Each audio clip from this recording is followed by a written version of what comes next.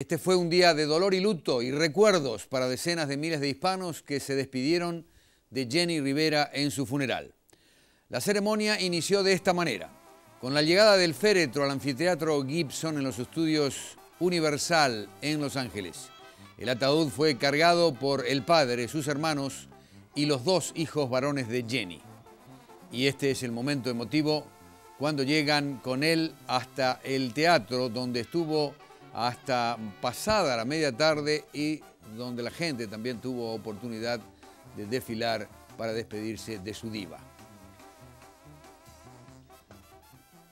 La familia y el público despidieron a la diva de la banda como lo pidió Jenny Rivera. Una ceremonia que refleje su vida con la alegría de una banda y sus canciones y el color blanco de la paz. Y en el momento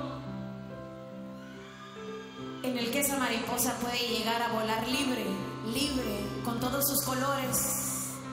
Como una superestrella de la música, pero sobre todo como una madre, una hija, una hermana y la amiga de todos. Fue despedida Jenny Rivera en el Anfiteatro Gibson de Los Ángeles.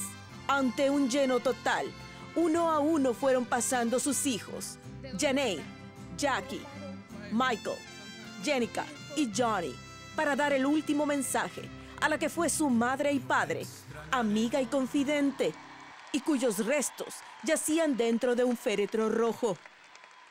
Rosa y Pedro Rivera, los padres de la diva de la banda, recordaron la alegría y el cariño que el artista mostró a su familia. ¿Qué les puedo decir de mi hija que fue lo mejor? Me dio tanto, tanto amor. Tu sonrisa, tu cariño para todo el público, nunca se olvidará. Más allá del sol y más allá de todos mis errores. Músicos cercanos a Jenny le dedicaron distintos temas. Entre ellos estaba Olga Tañón, Joan Sebastián y Ana Gabriel.